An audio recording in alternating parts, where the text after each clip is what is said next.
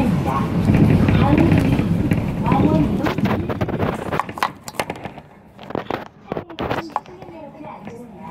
항상 소자리를 잡으시기 바랍니다. 특히 노약자들은